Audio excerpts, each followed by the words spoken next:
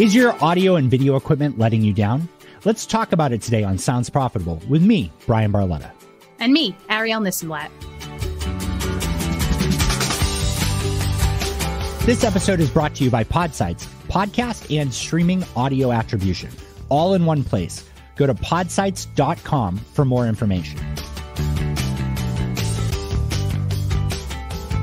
This episode is sponsored by Marvel.ai, ethically created and distributed synthetic voice and voice cloning. Find out more at Marvel.ai.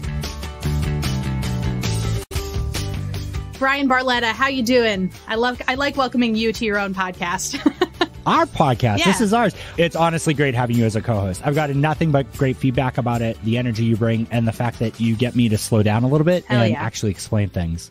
And I've already gotten some DMs. So shout out to the folks who have taken me up on getting in touch to talk about podcast ad tech and keep doing that. So shout out to you and shout out to future you for doing that. We've got a really fun, actionable, packed episode today. It's a shorter interview between you and a guest. And before we jump into it, I just want to give a little context and also play a little game to get us oriented. How does that sound? Don't read ahead. So, okay, not reading. Let's do it. Okay, so Bryan, to get folks in the mood for today's episode, to get us in the microphone mood, I'm going to have you play a game. And the game is this I'm going to give you 10 seconds, and you're going to name as many microphones as you possibly can, one point per mic. Ian will keep score. Are you ready? I'm going to put a timer up. Don't think. Don't think yet. Okay, you ready? Okay. Yeah. Set, go. Uh, sure. MV7, uh, SM7B, uh, PD70, um, by PreSonus. PreSonus, I think. Uh, there's That was 10 Oh, seconds. It was a quick 10 seconds. That's those are just the ones I have in my office. Well, not the SM7B, but the other two, and that's the one everybody knows. So, yeah, so. I almost said AirPods just to be a jerk. that yeah we'll, we'll talk in this episode about why that is not an adequate microphone substitute but yeah lots of microphones out there lots of podcast microphones lots that are famous in the podcast community a few that come to my head Samson q2u of course you've got the blue yeti which i am unfortunately recording with right now although i don't think it's that unfortunate but you do It honestly, it works well for you. I think we give it a lot of hate. I don't think it would be something I'd recommend anybody buy, but your audio sounds Fine. great. Yeah.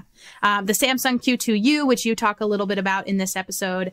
I like the ATR 2100 for beginners. Um, and then, of course, the Shure SM7B, which I think you mentioned. Tons of microphones, a lot of great options out there. Shout out to my little Rode NT USB Mini that I won from Podcast Movement. Shout out to Podcast Movement. Um, so now that we're warmed up, Brian, today you are chatting with Marcus. So tell me a little bit about how you met Marcus. So Evo introduced us because we were working on the Up Next project, which was the podcast format upfront, and I needed someone to help me edit things a little bit more complex than what me and Ian had been doing before. Ian Powell edits the every single episode of Sounds Profitable, but this was something that we had multiple guests and trying to build it up a little bit bigger. And so Marcus joined with that. It was a lot of fun. He had a lot of great ideas. And I kept talking to him about how cool it would be to really experience what multiple microphones sound like in one audio or video file, right? There was some video company I stumbled onto that showed different qualities of video uh, that you could record with their equipment and you could live switch between all three of them while playing the same video. And that was kind of the dream I had with Marcus. And Marcus said, "Yeah, let's do it." he grabbed every microphone he had, and he he made this awesome presentation. We'll link to it in the episode details. And it, it really gives you a feel for how you sound because I think that's really important. I like I'm wearing right now a brain work is real work t-shirt, but because my microphone, my headphones, and my camera look better, this has got a professional feel to it. Yeah. And that's where we are, you know, almost two years into a pandemic. We are at this point where that's the new suit. Yes. Yes. And, and Marcus really highlighted yeah. that. That's a big. I love that quote from your conversation, and we'll get there in a second. We'll let everybody experience that in real time for themselves. So Marcus wrote an article for Sounds Profitable a few months back. What is that article, and where can people go to find it? So it's on soundsprofitable.com and it's all about how you sound from those seven different, I think it was seven or nine different microphones that he had access to.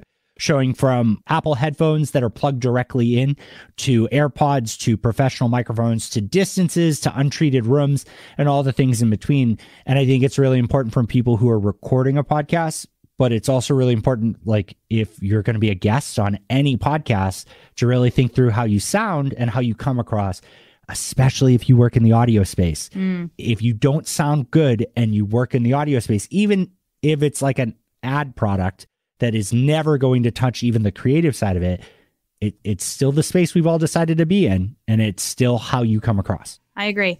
So here is how I want to prime listeners for the chat that we're about to get into and then we'll get right into it. So, question for you, Bryan. You already talked a little bit about why professional podcast folks, whether they're buying ads, selling ads, maybe they're not producers themselves, why they should care about having proper mic technique and treatment of the room and all that.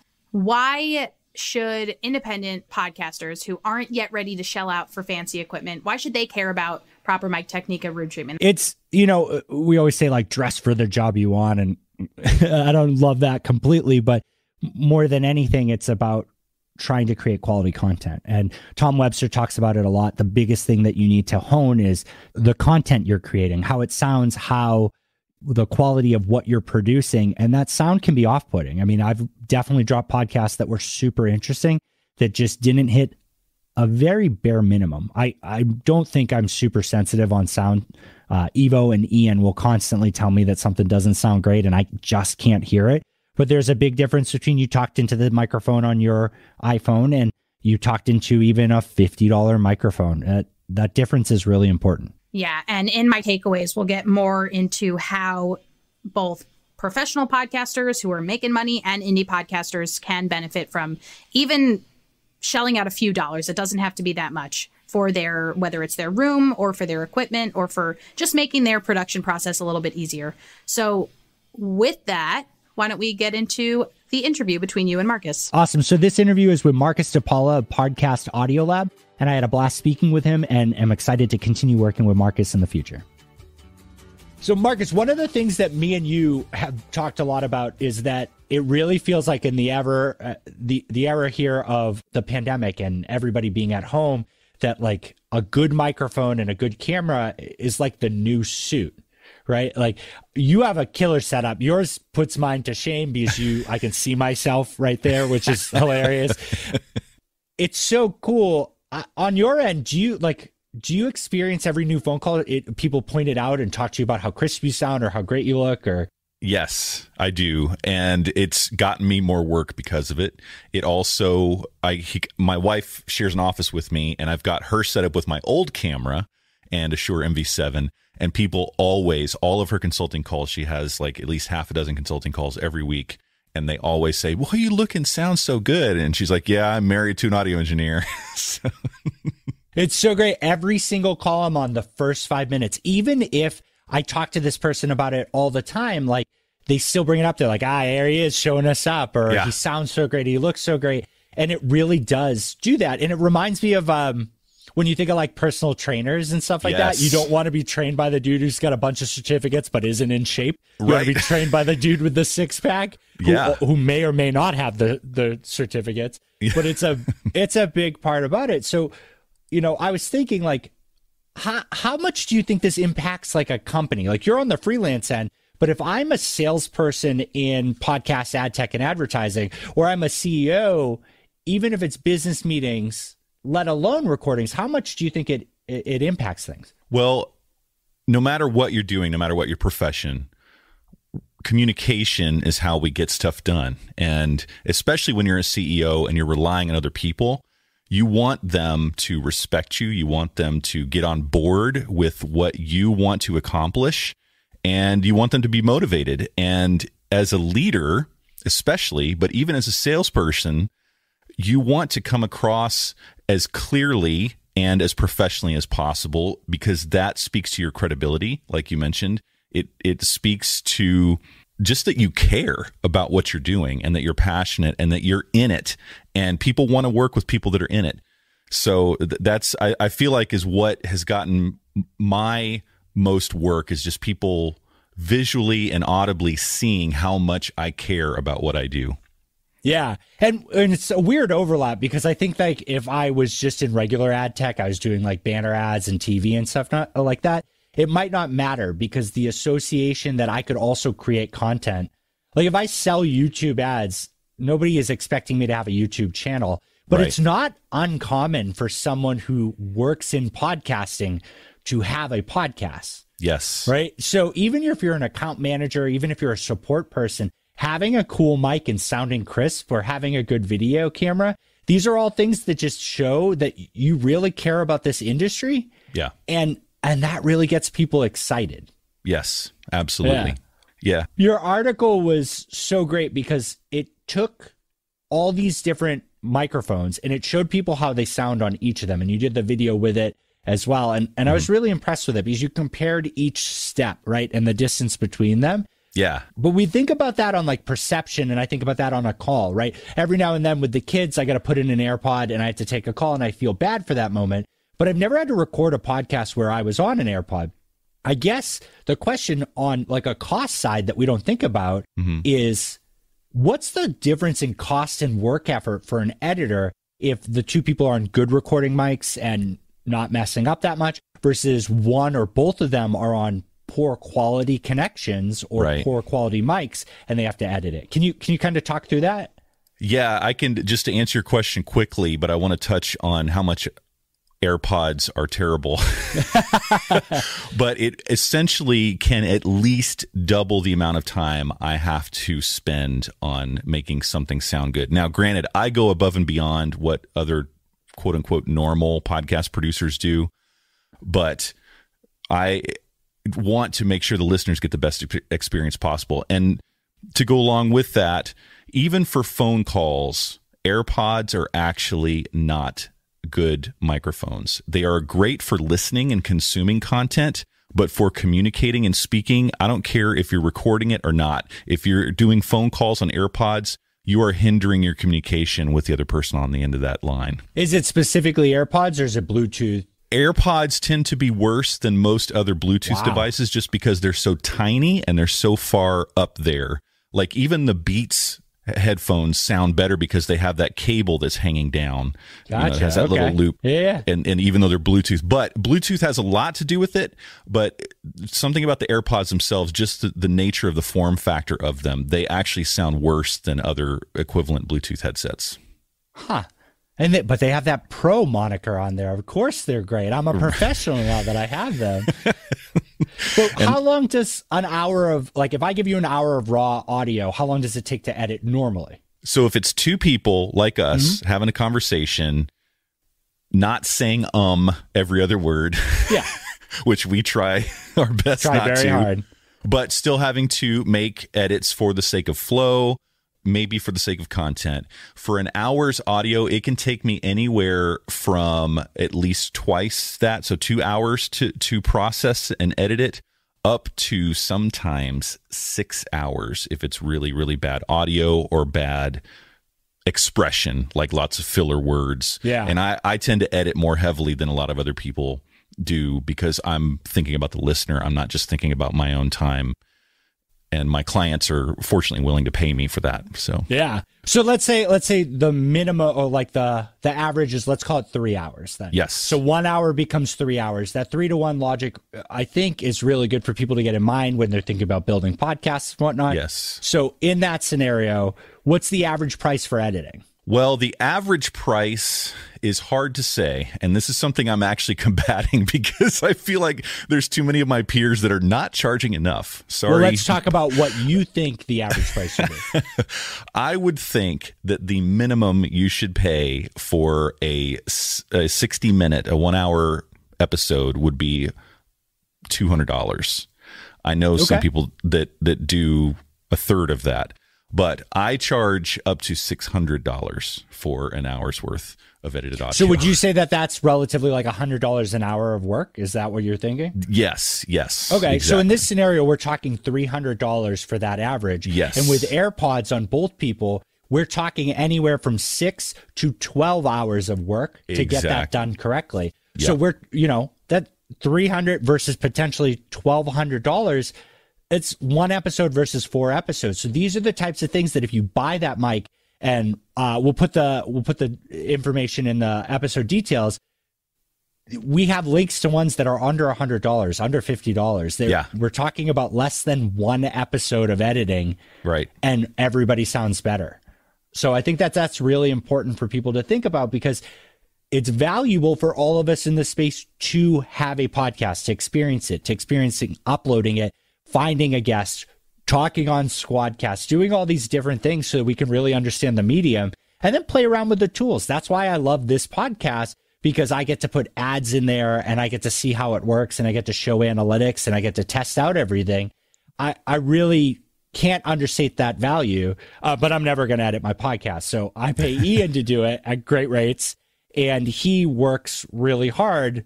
And so every time I get on there and someone has AirPods, we just doubled his work. Yes. We just doubled what I paid him too, which is rough. And to go along with that, the other thing to consider is the medium you're using to have the conversation. There are way too many people using Zoom to record Yeah. podcasts. And we obviously use Zoom a lot for meetings, but I even will use my stream, my podcast recording streaming platform for meetings because the high quality audio helps me communicate better. It is also a more pleasant experience for my clients and my prospects. But ultimately, there is a lack of understanding at just how bad Zoom will mess up your audio, especially if you're relying Yeah. on it to record for you. It really, really dumbs down the sample rate and all the technical aspects of the file to where it is. You, you take AirPods plus Zoom, and it's absolutely horrendous to listen to. Yeah. and then you and you think about it like I am getting to the point where I will reconsider who I bring on as a guest if they don't have a good quality microphone because now it costs me more. right? Absolutely. You know? And that Absolutely. setup is really tough too. If I get on there and someone says, Hey, I want to record on Zoom, I'm just like, can we just use my Squadcast link? I'm very happy to just Yes. give you the files because I don't want to sound like that. Right. Absolutely. That's very important. Well, I think we're in a really interesting spot right now where everybody's home. I think travel's going to come back again. I mean, I miss Hopefully. it. I'm very excited to to be fully vaccinated for my whole family. Like me and my wife are, but my kids are just a little too young right now. We're going to be in front of that line. But you know, I I think about it constantly about before the pandemic. Uh, trying to record in a hotel room and how hard that would be, whether for just solo podcasting or especially for calls. I think a lot of people give leeway to people when they're traveling, and that's fine, you know. Yeah. But what could I do for a travel setup when we didn't really touch on this in the article that can help with soundproofing when I'm on the go? Like to make me not sound like crap and also not put a giant thing in front of my face that Right. blocks my view. Absolutely. Yeah, there are a lot of people that say, "Oh, you can crawl under the covers and put it over your head." I don't recommend that. That's that's a little too like yes, it does sound better, but you also have to think about your comfort in communicating when you're trying to express your ideas. But what I recommend is just like with at my desk setup, my second favorite podcasting mic is the Samson Q2U. The microphone choice, starting with that, it it is it, the type of mic that it is. It doesn't pick up as much of the ambient noise. yeah. But to speak to being in a hotel room specifically, the things you have to think about are the number one problem for me as an audio engineer in a hotel room is the air conditioner. And there, unfortunately, are a lot of hotels where you don't have control. they give you like the little dummy thermostat that kind of is supposed to help you with the temperature, but the blower's always blowing or it just comes on randomly. But if you can turn the air conditioner off, you obviously probably need to crank it down to where it's really cold before you start the interview so you don't end up sweating by the end of it. So if you can't turn it off, then getting on the opposite end of the suite or the hotel room from the air conditioner and then facing the air conditioner because the back of the microphone picks up less noise than the the part of it that you put in front of your mouth. So that's the first thing. The second thing would be what you can do is take one of the comforters off of the bed and drape it around and kind of tie it around a couple of the hangers in the closet and open the closet doors and then get your chair and sit facing the closet. And if you ha- can have the doors kind of around you, so you're like in a little booth. So you're can help elim- speaking into the into the comforter. blanket. Yes, exactly. That cuts down on the reflections because basically the the reverberation in a room is the excess energy that the microphone's not capturing, just kind of bouncing all over the place. So if you put that comforter in front of your face, and you can still have your computer, your iPad, or whatever, eh, eh, you know, in between the microphone and the comforter. You don't have to have it like right up in up in your grill. Yeah. That way, it will absorb as much of the excess energy coming out of your mouth before it starts bouncing around the room and causing those reverberations. That's real smart. Yeah, I like that because like so many of these microphones, the Samson one that you recommend, eh, I really like because it's so portable. Yes. Like it, it's not going to take up any space in your bag. It's going to fit in whatever you're already traveling with. And so being able to put that on there, you're going to probably spend more space for a laptop stand so you can make actual eye contact and people aren't like looking up your nose yes. than you will on that microphone. Uh, but the biggest thing that I've learned is whatever app you're using, if it mm-hmm. wants to do any processing, just say no. Your yes. audio engineer wants the most raw data that they can possibly get. And the idea of an AI trying to process that for them, it's not going to end well, especially if you're paying somebody else. And that brings up another good point. Make sure you have your headphones because one of the biggest problems with audio recordings, especially in Zoom, where you can't completely disable all of the filters, is that echo cancellation, which is what happens when the sound comes through your laptop speakers when you're not wearing headphones and it gets picked up by your microphone. Zoom automatically kind of dampens down your microphone. So if you guys talk over each other, you're going to be muted and it sounds yeah. terrible. Well, I don't even know if that's Zoom. I think it's just the hardware aspect of it on a lot of uh, like Apple computers, right? Like yes. a lot of Macs. if yep. you if you uh, if you're ever talking to somebody that you'd like to interrupt aggressively and they're not wearing headphones on their Mac, just talk because it mutes their microphone because the the speakers are picked up louder than their voices. I've learned that many times arguing with people. Dominate not the conversation. A, not my favorite life skill or anything like that, but you know, shitty life hacks there, I think. That's right.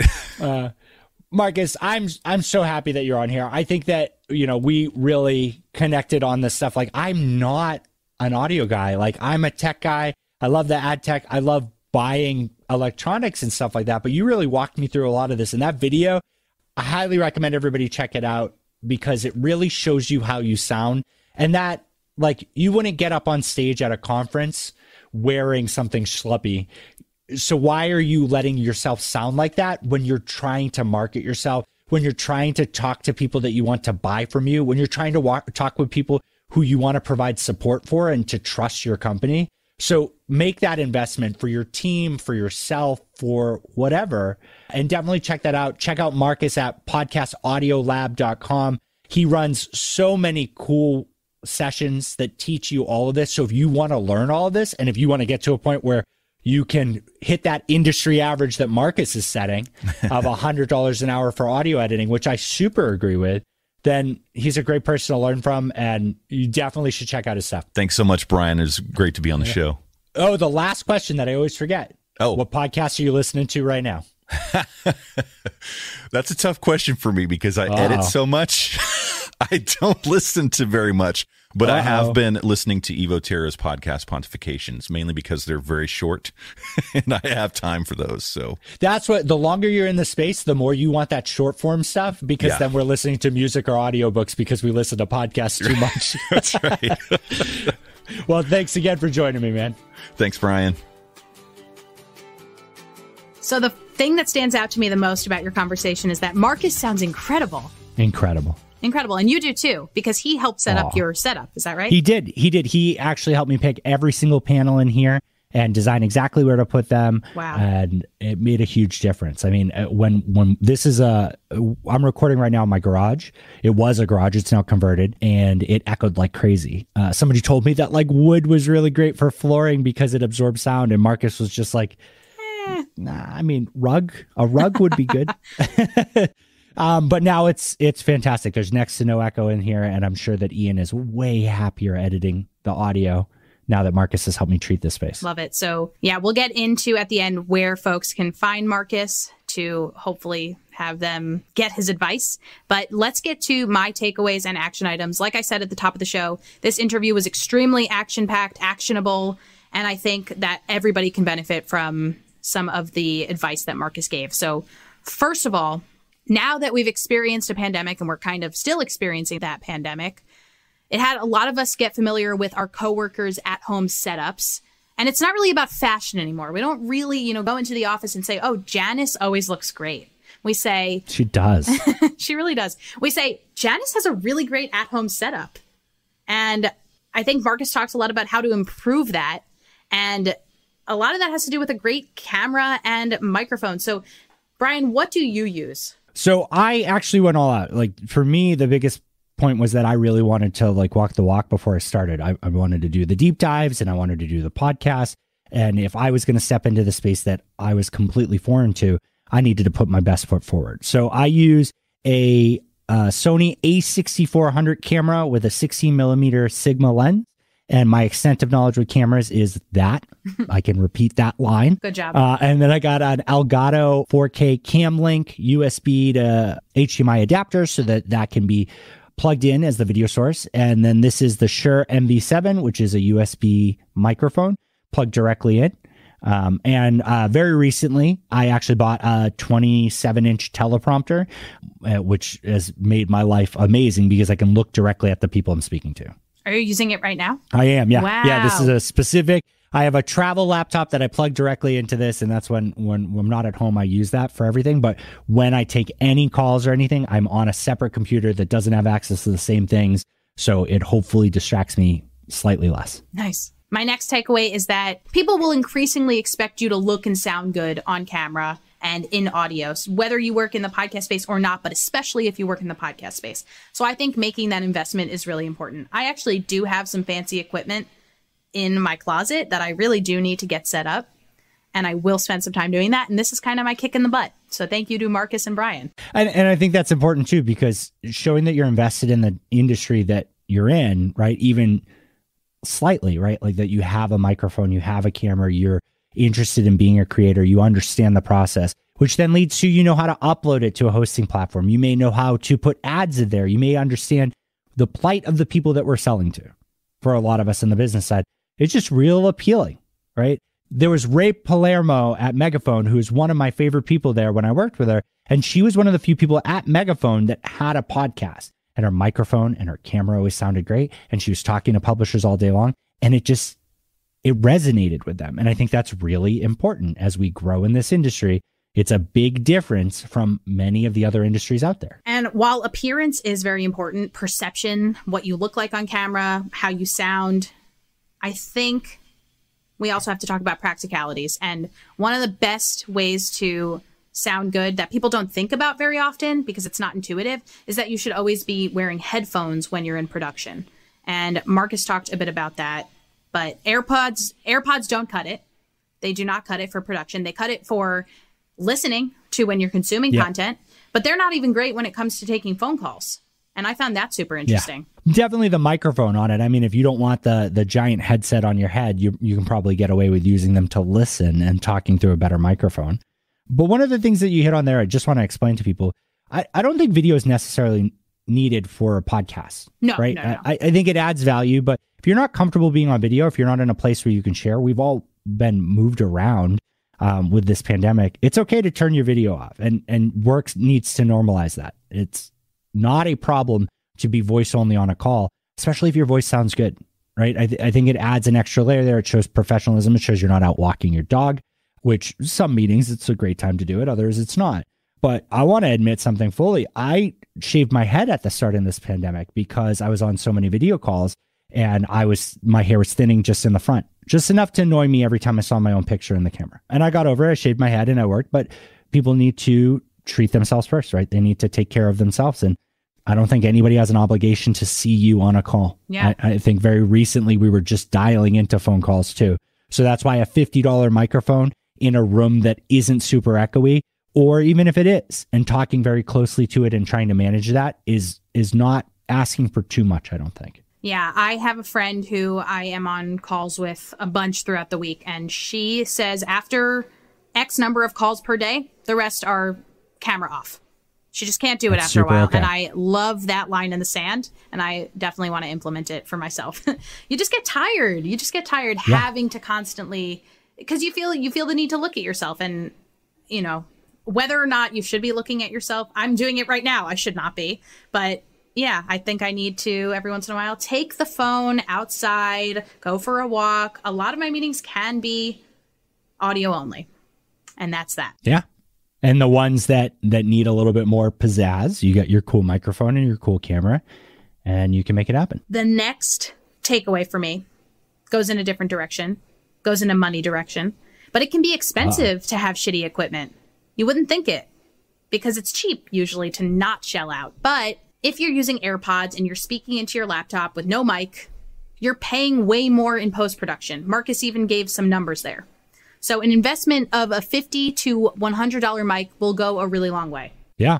It'll reduce that editing cost is every single time to the point where some people might start rethinking having guests on who don't have a good mic. Right. And that's okay. We have to produce quality content. We have to hold people to a certain level. At a certain point, great thoughts aren't enough to carry it. We need to we need to really meet the medium where it is. Yeah, and I think that even if you're not paying an editor to edit your podcast, it's still your own time, right? So if you have audio that doesn't sound great and you're sitting there in post production and you have to remove all sorts of static sounds and other things that come along with recording with AirPods or just speaking into your laptop, you're spending a lot of time in post production for yourself. So make it a little bit easier. Spend the $50 to buy a Samson Q2U spend $100 to buy the ATR 2100, whatever it is, you will thank yourself later. Completely agree. And then my next takeaway is that I love the point about the hotel room. You might sound great if you're in a blanket fort and it might be cozy and comfortable, but at what cost? you are maybe you're on a call with somebody important and you're like, hold on just a second, I got to get into my blanket fort what you know do you really want to be doing that? So you got to make sure you feel comfortable and confident and there are other ways and marcus spoke to those other ways like opening the closet door speaking into the closet. That helps you a little bit here and there. There are things to do when you're on the go and you're recording. Smart tips to have available. Right now i don't have the air conditioner on and even though it is fall i am in texas and it is warm in here. Same with new york for some reason even though we're in mid-october. It is hot. My last takeaway for today's episode. And I think that this is the takeaway that I will bring up in some capacity forevermore on this podcast, every episode, because it is just so important, is that there are so many podcasts out there. Your show must stand out. There is no other way. And the bare minimum is having a podcast that sounds excellent. And that's to say nothing of the content that you're producing, but you've got to sound really good. And if you're using visuals, you've also got to look really good. It doesn't work anymore in this day and age to have a podcast where you're recording with your phone. You could do it, you could have a lot of fun, you know, just recording with your friends here and there, but your show has to stand out because chances are there are other podcasts in your niche on your topic with people who are similar to you, and yours needs to stand out by sounding great.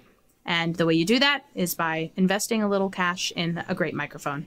Well said. Well, those are my takeaways, Bryan. Um, anything that I missed that you feel like you want to hammer home a little bit more? No, I think you nailed it. I think Marcus did a great job explaining all that. Uh, I'm very excited how accessible Marcus is for people who want to learn editing or have a room audit or anything like that, because these are things that people don't think about as services that you can reach out to and, and, and work with and, and have your situation kind of reviewed. So please take Marcus up on that. Uh, take Arielle up on that. Definitely don't take me up on that because I call other people for help on it. But it's it's very important how you sound in this space matters. Yeah. Especially if you want to be taken seriously by the people in this space. Yeah, and you can find Marcus on Twitter at me only louder. He's great. Such a good handle. It's a really great handle and if you write to him, he'll write back. Before we wrap up, here's what's happening this week in the world of podcasting with James Cridland at Podnews.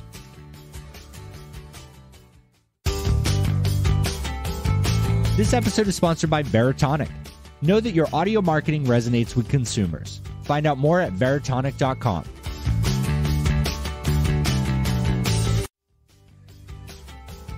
If you want to connect or have questions or comments, feel free to reach out to us on social media at Sounds Prof News, at Bryan Barletta, or at Ari This and That on Twitter, podcast at soundsprofitable.com for email, or you can reach out to us via the Yappa link in the show's description. This show is recorded with Squadcast, which has remote video recording, Dolby mastering features, screen share and high def and real time transmission of all those files so you don't lose a single thing.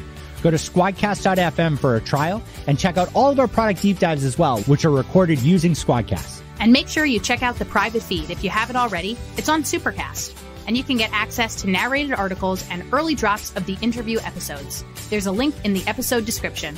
And now in Spanish. I know, Bryan, we had a goal to say goodbye in a different language every time, but it's getting embarrassing. So I'm just going to say bye, Bryan. Bye, Arielle.